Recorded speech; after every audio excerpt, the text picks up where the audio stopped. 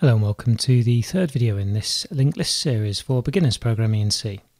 So in this video what we're going to do is we're going to take some user input, we're going to add people to our list according to the user input. So the user is going to enter just the age, just to keep things short and sweet, and each time the user inputs an age, a new person will be created and added to our list and we'll our linked list will grow dynamically. Before I go into an explanation of exactly how that's going to work, I just want to make a couple of changes in the code. There's one very, very important one to make inside this get new person. Um, now, in the last couple of videos, I wanted to keep things as simple as possible with the introduction, especially if you're new to dynamic memory allocation with uh, malloc. But there is one critical thing you should always do when you do a call to malloc, and that is check whether actually the pointer that is returned from malloc is null or not because malloc isn't always guaranteed to be able to allocate the memory. So to defend against this, it's actually quite easy. We just simply will ask, uh, is a new person non-null? If so, then create our person. Otherwise, let's print a nasty message saying uh, there's some something gone very, very wrong and we've got a failure in the memory allocation. So I'll just write then if a new person is not equal to null.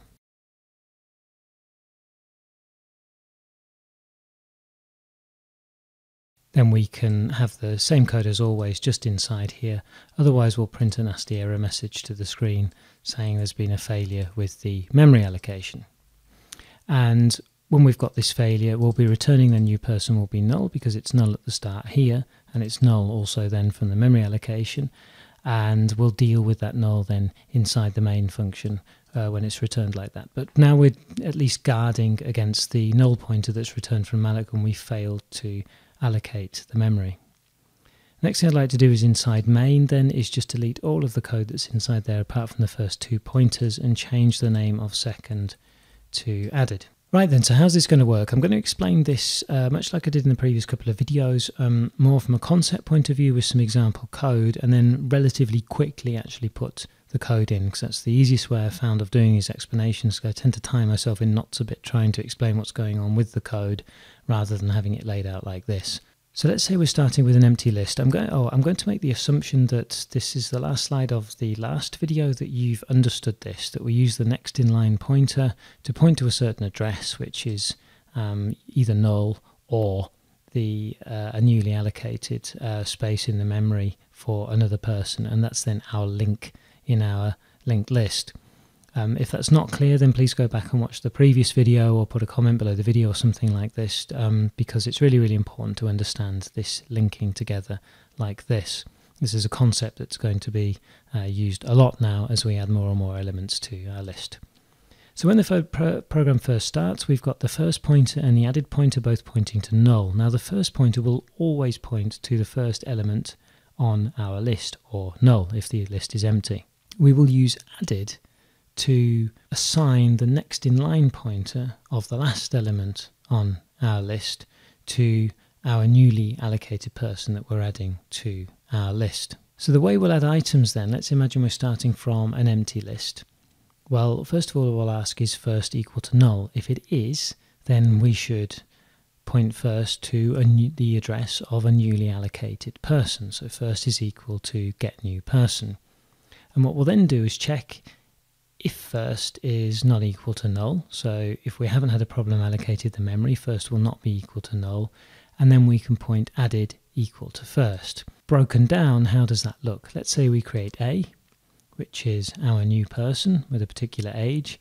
First will be pointing to A, and the next in line pointer of the A structure will be pointing to null.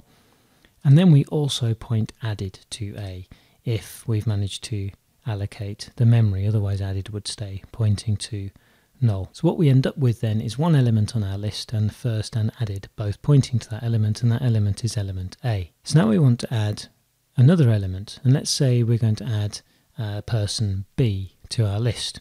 Well in our logic first is no longer null so we're going to need to do something else and we can see at the bottom of the code block here just in red outline what we're going to do is allocate a new person, this will be person B and we'll set added's next in line pointer to point to the address of where this person was allocated. Now remember added is pointing to A, so effectively we're saying the next A's next in line will point to B.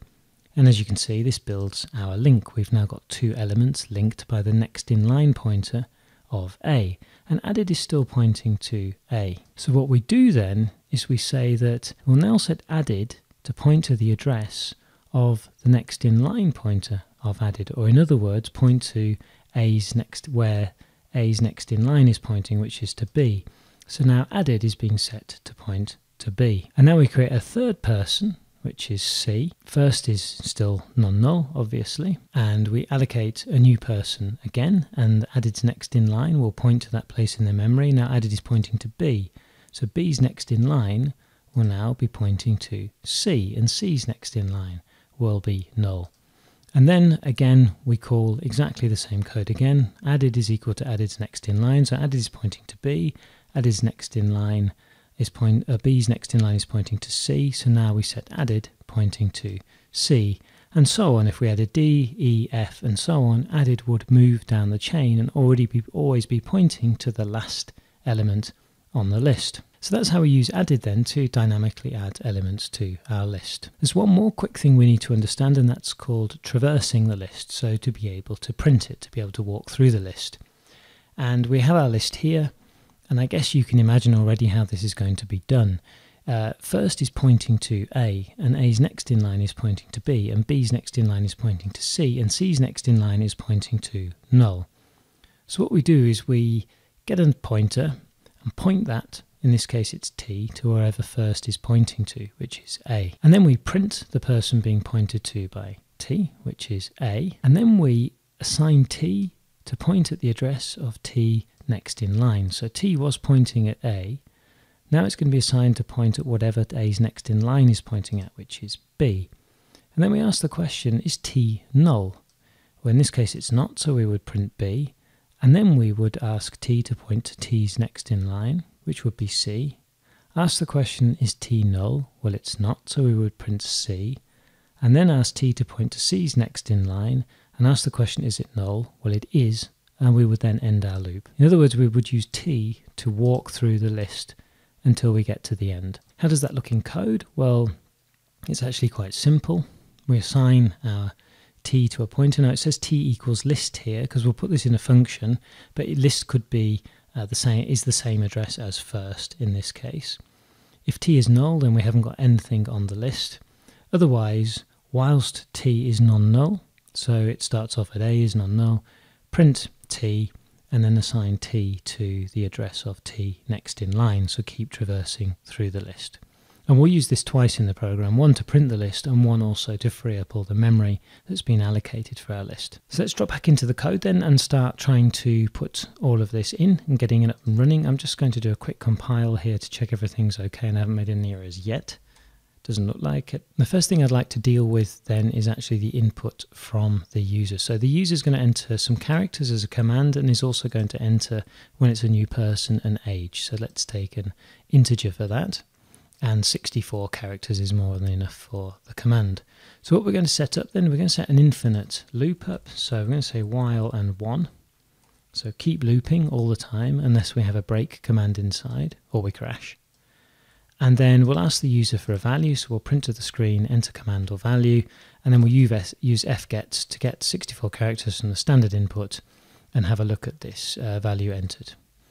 What I want to be able to do then is understand what the command was. So q will be quit, print will be print the list, and otherwise we'll try and interpret the input as an integer for the age of a person we want to add to the list. To do this I need a function for some string comparison there is one inside the string.h library, so I'm just going to at the top add this library onto the top of the code. And now back down inside uh, main then we can start processing the commands. So the first command to process is, and I'm assuming you're slightly familiar with strcmp, but it always returns zero if the string here is the same as this. Otherwise it returns one or minus one depending on less than or greater than. Uh, in the case of zero they match and in this case, that means we'll quit and we'll break out of the while loop if the user has entered q followed by a new line. Otherwise, what the user might enter is print. So in the case of print, we'll want to actually print our list, but we don't have a print list function yet. So for now, I'm just going to put in a printf and printing and nothing else. And otherwise, what we're going to do is we can try and use scanf to see if the user has entered a digit. And if so, then we'll scan this, or an integer, and we'll scan this into our age variable. So scanf is a standard library function. It tries to find in what's been entered in command an integer or anything inside the format specifies here, in this case percentage %d is an integer, and store that value then at the address of our age integer and returns uh, non-zero if everything's worked out okay. Assuming it has worked out okay, that means we're going to be adding a person of the age that the user has entered. So now we've got all of our input set up, let's just compile that and make sure it all works. So I'm just going to enter some ages and it seems to be okay. I'll enter, type in print and it says printing and type in Q and we quit the program. So at least the actual program uh, seems to be up and running. So the first thing to do then is to add in all of the logic that we saw inside the slides. So I'm going to, I've explained this logic in the slide, so I'm going to, to save a bit of time, paste the code in here. Um, it's been explained in the slides once and it takes me ages to type, as you know probably from my other videos. Um, so here I'm saying if first is equal to null, then get a new person, um, check whether we've managed to allocate this memory, and if we have, then set added also pointing to the same place that first is pointing. Otherwise, we'll try and allocate the next in line from added, so that will also be equal to get new person and age. And remember, we're going to also ask is added uh, next in line not equal to null? If so, then we've managed to allocate the memory. So we can set added up equal to be added next in line, which makes the link to the newly allocated person on our list, as we saw on the slides. So that's the logic setup then to deal with adding things to our list. Problem is we can't see our list, and that's because we need to put a print list function into our code. So I'm going to put this print list per, um, function then just below the print person here, and it's going to take in an argument, and that one argument will be a pointer to our list. And in our case, we'll send in here, the parameter we'll send is first. So we're printing a list, we've got our pointer t set up, and we'll set t to be equal to list. Now, we might not always send first into this. We might want to print just the last couple of elements of the list. And we might send the address of the second to last element on the list and then print or something like this. In our case, though, it'll always be the first element on the list. And the first thing we want to check is whether t is null or not. Because if t is null, then let's at least print something to the screen saying the list is empty. Otherwise, we'll loop that whilst t is non-null, then we'll print the particular person and then we'll set t is equal to t and next in line to go to the next person. And then remember, if the next in line is null, then t will be null and the while loop will end. So in other words, we'll print each of the people on our list. And I want to do one tiny more thing before we go and actually run the program. Um, I've talked about in the previous videos actually freeing up the memory from the pointers, and that's something that I want to do with first and added. I just want to scroll down to the bottom of main here and put first and added being equal to null so we free those up. But before this here, we need to free up all of the memory we've allocated dynamically in our list. And to do that, I'm going to write a function called clean up. So clean up will take a pointer to our list, and in nearly all cases, I imagine it'll be the start of our list. We'll have a helper pointer called next in there. And now whilst our list pointer is pointing to something, so it'll be at the start the first element on our list. We'll get our next to point to the next element on the list. And now that that's being next is pointing to the next element on the list, what we can do is we can free up the memory allocated for what list is pointing to currently. And then we can assign list to point to next, which was the next element on the list. And now if there's nothing else on the list, then list is null, so the loop will end. Otherwise, we'll ask next to point to the next element on the list, so the third element on the list, and then free the second element, and so on. And this just walks through the list and frees up the memory we've allocated uh, one by one. So right down the bottom of main then, above here, I just want to put cleanup and first, and then we can free up all the memory that we've allocated uh, during the running of the program. Good, and that should be all we need then to dynamically create some lists. So let's have a look. We get asked to enter a command or value, so let's say 34. And we can see we've created a new person at the address 980, and if I hit print, we've got printing on the screen because I've just realized I've forgotten to actually make the call to the print list function in here. So let's just go inside printing here and then uh, print list and send in first to the head of our list. Sorry about that, let's run it again. Okay, so let's type 34 as a new person and now print. And now you can see we've got age 34, address AD1980, and the next thing on the list is 0. It's null, there's nothing else on the list. So let's add a few more people to our list and now print. And now we've got lots more added to our list, and here we can see that we've got 980, the next is 520, the next is 520, 530, 53040, etc., etc., etc. In fact, you can see they're all being placed side by side uh, in the memory. And the one at the very end, 34 here, next in line, is 0. Good, so Q then allows me then to clean up all of the items inside my list and free all of the memory. Good, so that's it then for this video. Um, I hope it was clear. It's a really, really big step, but if you've managed to understand this one, then you've really understood all the fun fundamentals you need of how linked lists work. And in the following videos, we'll look at some more of the manipulation, sort of adding to the start, adding in the middle, deleting elements from the list, and all sorts of good stuff like that. So any questions, comments, uh, welcome as always below the video. Otherwise, thanks very, very much for watching and see you in the next one.